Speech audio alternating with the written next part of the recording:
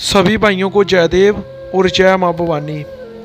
तो आज हम आपको महाराजा अनंगपाल तोमर और उनके वंशजों की कितनी आबादी आज भारत में है और कहाँ कहाँ अनंगपाल तोमर के वंशज बसते हैं, उसके बारे में बताएँगे। महाराजा अनंगपाल तोमर दिल्ली के राजा थे।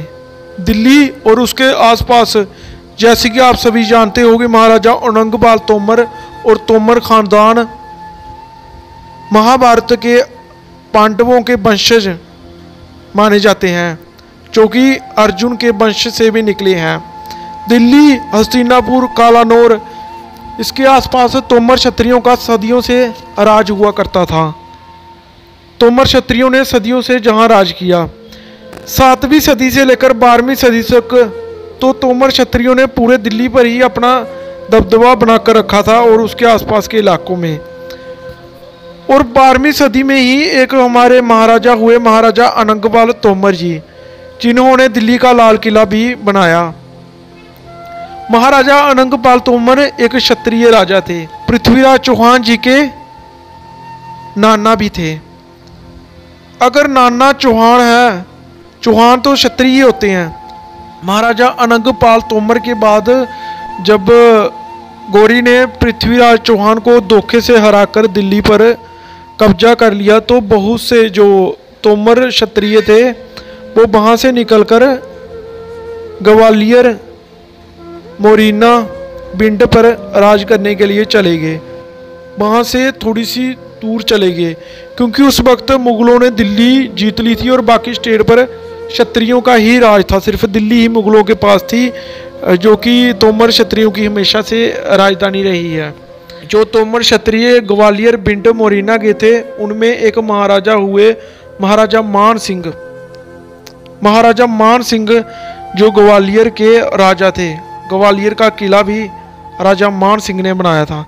उन्होंने एक और किला बनाया और जिससे उनकी शादी हुई।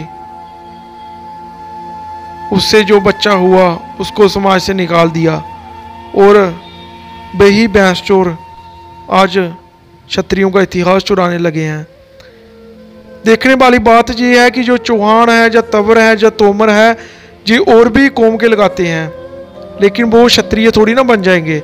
सिर्फ़ दो जातियाँ नहीं लगाती, और भी बहुत सारी कौमें लगाती हैं। लेकिन वो क्षत्रिय नहीं बन जाएँगे। जब गोरी सल्तनत ने दिल्ली जीत ली तो उसके बाद उन्होंने उसके आसपास की जो राज्य थे, उन पर भी हमला करना शुरू कर दिया। उसके आसपास का राज्य था हस्तिनापुर। वहाँ पर राजा जर राव का राज था। और राजा जर राव के वंशज वहाँ से निकलकर कुछ हिमाचल की तरफ़ चले गए, कुछ जम्मू की तरफ़ चले गए। और जो वहाँ का राजा था, उसको धोखे से गोरी ने इस्लाम धर्म में परिवर्तन करवा लिया। तो फिर उसके साथ उसके कुछ भाइयों ने भी इस्लाम धर्म अपना लिया था। लेकिन है वो क्षत्रिय ही थे धोखे से।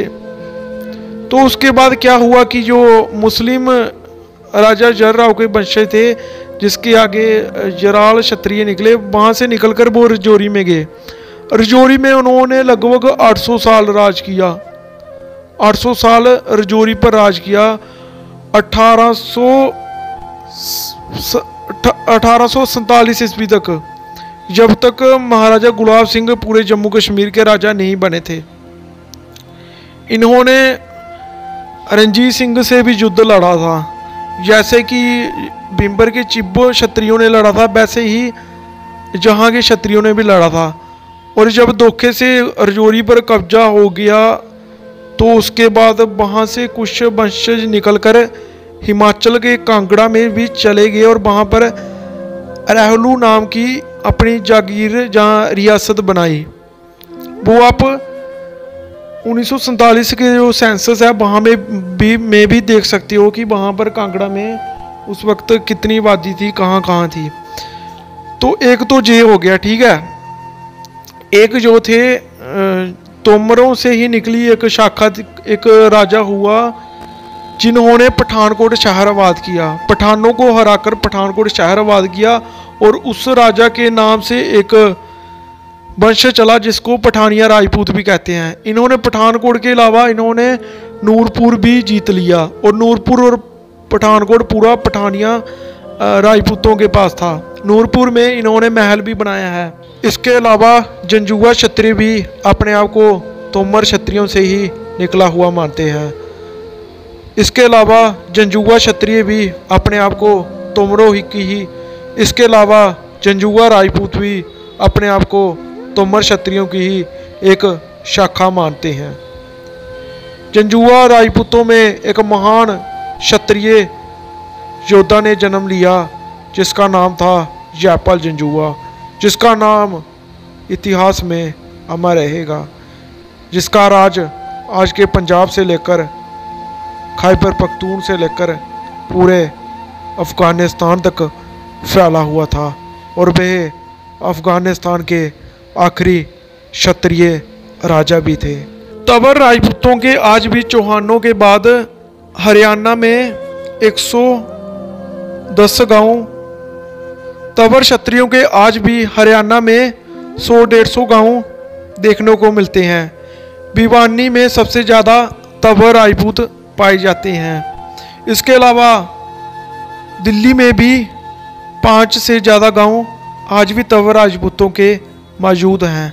इसके अलावा साठा चौरासी जो गाजियाबाद ज़िले में पड़ता है, साठा में सठ गाँव सिसोदियों के हैं, इसके अलावा चौरासी गाँव हैं, वो तोमर क्षत्रियों के हैं। चौरासी गाँव, तोमर क्षत्रियों के सिर्फ़ गाजियाबाद है। इसके अलावा भी और भी बहुत सारे गाँव हैं। गौर करने की बात यह है कि अकेले तीन चार लाख तोमरों की आबादी सिर्फ़ जो चंबल रीजन है, मोरिना भिंड ग्वालियर में है। तीन से चार लाख तोमर क्षत्रिय। और इसके अलावा भी मध्य प्रदेश में काफ़ी सारे तोमर क्षत्रियों की आबादी देखने को मिलती है। इसके अलावा राजस्थान में तवर वाटी इसके अलावा राजस्थान में तवर वाटी इसके अलावा राजस्थान में तवर घाटी में भी तवर क्षत्रियों की बहुत आबादी देखने को मिलती है। जहाँ इनकी एक जागीर भी थी। तो कुल मिलाकर ये है कि तोमर क्षत्रिय आज भारत के पूरे सब कॉन्टिनेंट में फैले हुए हैं। आपको ये जानकर हैरानी होगी कि हरियाणा में पहले एक बहुत बड़ी आबादी तोमर क्षत्रियों की होती थी, जो कि मुस्लिम तोमर क्षत्रिय थे। एक बहुत बड़ी आबादी थी उनकी, जिसको रांगड़ राजपूत भी कहा जाता था, जो आज देश की आज़ादी के बाद वहाँ से निकलकर पाकिस्तान में चले गए। और आज भी उनकी बहुत बड़ी आबादी, जिसको जो रांगड़ राजपूत भी अपने में कहते हैं चौहानों के साथ तोमर क्षत्रियों की भी बहुत बड़ी आबादी देखने को मिलती है। इस हिसाब से देखा जाए तो चार पाँच लाख मध्य प्रदेश में तोमर क्षत्रिय हैं। इसके अलावा यूपी में भी दो तीन लाख होंगे। हरियाणा में भी एक बहुत बड़ी आबादी है, सौ डेढ़ सौ गाँव हैं। इसके अलावा पठानकोट, हिमाचल के नूरपुर और भी कई हिस्सों में पठानिया क्षत्रियों की आबादी है। इसके अलावा जरियाल राजपूत जो हैं, वो कांगड़ा में जिनकी दस हज़ार के तकरीब आबादी देखने को मिलती है, जो हिमाचल में है। इसके अलावा मकेरियाँ, जहाँ भी कई सारे गाँव जरालों के हैं। इसके अलावा रियासी ज़िले में बहुत सारे गाँव जराल राजपूतों के आज भी हैं। इसके अलावा किश्तवाड़ हो या डोडा हो, जहाँ भी कुछ गाँव जरार राजपूतों के देखने को मिलते हैं। इसके अलावा जम्मू में भी कुछ मिलते हैं, और इसके अलावा रजौरी रजौरी में सबसे ज़्यादा जरार राजपूत ही हैं। रजौरी में आज भी सबसे ज़्यादा जरार राजपूत हैं, जो अपने नाम से, जो अपने नाम में, जो अपने नाम में मिर्ज़ा भी यूज़ करते हैं। आज़ादी के वक्त कुछ राजपूत रजौरी से निकलकर पीओके में भी चले गए थे और पीओके में पहले भी बहुत सारे जरार राजपूत थे। आज भी लाखों में जरार राजपूतों की आबादी पीओके में मिलती है। इसके अलावा पाकिस्तान, पंजाब प्रांत के गुजरात शहर में सबसे ज़्यादा आबादी ही जरार राजपूतों की है। जैसा कि आप सभी जानते हो कि आज क्षत्रिय समाज का इतिहास चुराया जा रहा है, लेकिन गौर करने की बात यह है कि क्षत्रिय महाराजाओं के राजे रजवाड़े राजमहल आज भी पूरे देश में जीता है।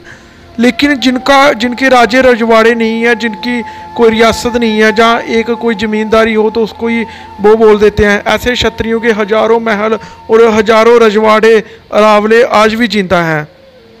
तो उनका इतिहास चुराया जा रहा है। जो रजवाड़ों वाले लोग हैं। एक तरफ़ ये ओबीसी या एसटी का आरक्षण भी लेते हैं और दूसरी तरफ़ क्षत्रिय समाज का इतिहास भी चुरा रहे हैं।